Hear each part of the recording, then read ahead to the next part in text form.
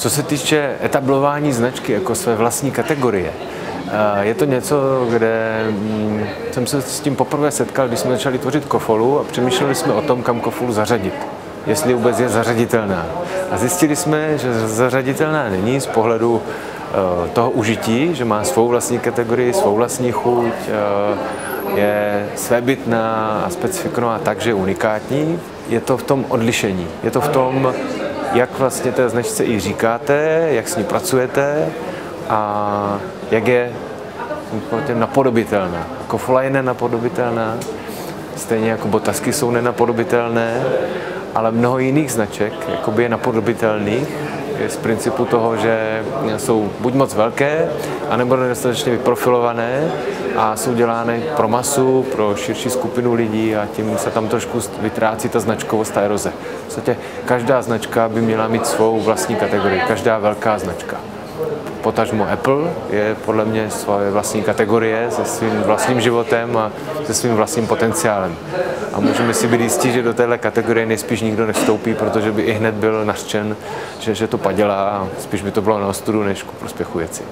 No, u Botasu, u Botasu 66, pokud můžu mluvit takhle jakoby přímo, jsem pišný na to, že se vůbec vrátil na trh.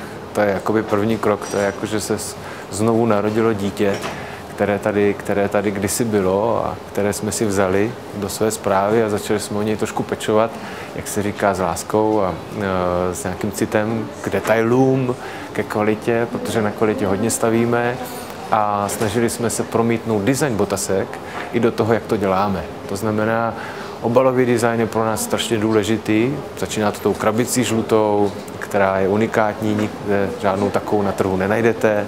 Systémem vystavení zboží v uh, Botas Concept Store, který jsme založili, způsobem komunikace, uh, že se nesnažíme pracovat v klasickém marketingovém modelu, ale něčemu, co říkáme jakoby sociální model uvažování, to znamená, vkládáme do toho víc emocí a méně té, té racionality, protože mnoho, mnoho věcí se rodí právě v emocích a nejenom na základě racionálního uvažování. Samozřejmě máme i racionální uvažování, pokud se bavíme o ceně, pokud se bavíme o věcech, které se týkají rozpočtu, ale co se týče mluvy vůči zákazníkům a nějakého respektu, tak, si, tak respektujeme i chyby, které děláme a nestydíme se za ně a si myslím, že tím letím vracíme trošku zpátky to, že nejsme neumilní a že jsme taky jenom lidi a ta značka získává na lidskosti.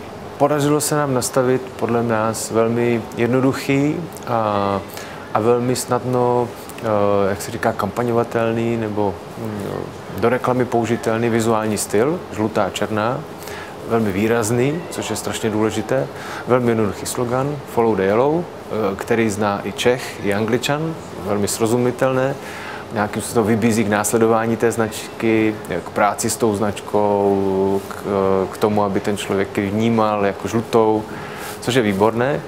Potom se nám podařilo vymyslet uh, místo prodeje, protože vždycky musíte někde prodávat, neprodáváme ve vzduchoprázdnu, takže se nám podařilo vymyslet Botas Concept Store, což je unikátní způsob prodeje, za to jsme byli mnohokrát dohodneceni, stejně tak jakoby za výrobek roku, za prodejnu roku. Takže nám ten dům ještě zdaleka nestojí, ale, ale blížíme se k tomu, že minimálně už máme zdi, jsme vymezení vůči konkurenci, proto se mluví o té vlastní kategorii. Konkurenci sledujeme z pohledu cen, tak aby jsme nějakým způsobem akcentovali, jak ten trh se vyvíjí, aby jsme nebyli příliš drazí a zase příliš levní. Ale co se týká produktového, produktového, eh, produktového uvedení, tak tam si myslím, že máme hotovo. Co se týká obeznámenosti veřejnosti, tam máme taky hotovo.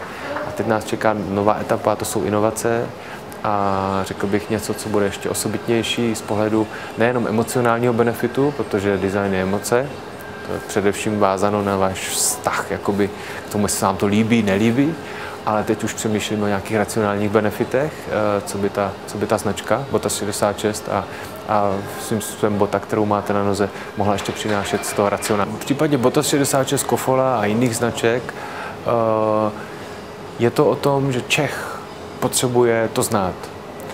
Uh, Češi jsou takový zvláštní národ, který moc nedůvěřuje.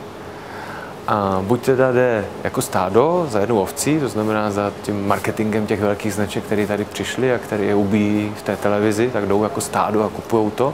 To znamená, že jsme trošku jako ovce. A nebo je tady druhá skupina Čechů, kteří chtějí být jakoby jiní, kteří jsou jakoby tou to, tou vnitřní podstatou Češi a chtějí preferovat ty české výrobky. Samozřejmě cílem není, aby si člověk kupoval jenom Botas 66, ale může mít samozřejmě doma i konkurenci. Potom jakoby netoužíme, konkurence je opravdu zdravá. Eh, ať máme aspoň jedny doma v tom, v tom botníku. Jo? A kdyby v každém, tak je to super. Takže celé, cíle nejsou nějaké jako megalomanské, ale, ale, ale postupně. Já si myslím, ale, že to je v tom, že Češi potřebují, aby ta značka zněla česky a aby měla nějaký základ. To nutně. To myslím, že na ty tradice a na tu historii jsme tady velmi velmi nějakým způsobem zaměření. A že proto jsou ty značky úspěšné, když se dělají s tím ohledem na to, co, co tady už jako odvedli.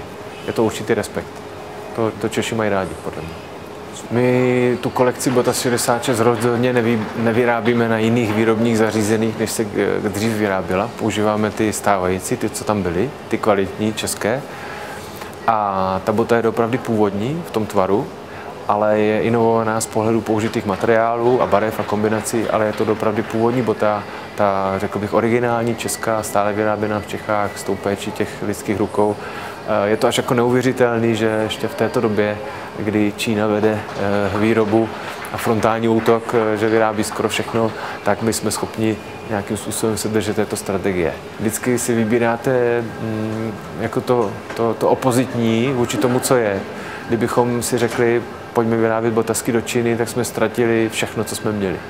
Takže my jsme si vybrali vlastně tu naši největší slabinu, považujeme za naši největší výhodu. Ono totiž v očích lidí to, že jsme e, česká značka a vyrábíme se stále tady, může být mnohokrát považováno za slabinu, protože třeba nejsme tak levní a, a tak dále, a tak dále. Ale na druhou stranu je to naše výhoda. To je to naše vymezení, to je ten náš trh. To je ten náš trh. My ten cenový bod, jakoby, nebo ten price point, jak se říká anglicky, máme ve směs stejně jako je konkurence. Jsme na cenové úrovni zhruba 18-16 korun, což odpovídá zhruba cenové úrovni ostatních našich jakoby, konkurentů. To jsme i chtěli, nechtěli jsme přijít na trh s něčím levným, ale, ale spíš s něčím, co má kvalitu a za co lidi budou ochotní zaplatit. Si myslím, že to ukazuje určitý respekt k té značce. Značka do chvíle, než má slevu, tak jakoby existuje, ale ve chvíli, kdy začnete používat slevu, tak nemáte značku, ale máte pouze jakoby prázdný produkt. Takže my se nesnažíme dělat ty klasické slevy, samozřejmě výprodej je výjimečný, ale, ale nesledujeme tu, ten, ten, ten, ten obchod na základě toho, kolik jsme prodali ve slevě, ale spíš kolik jsme prodali za klasickou cenu a jak ten výrobek je zdravý.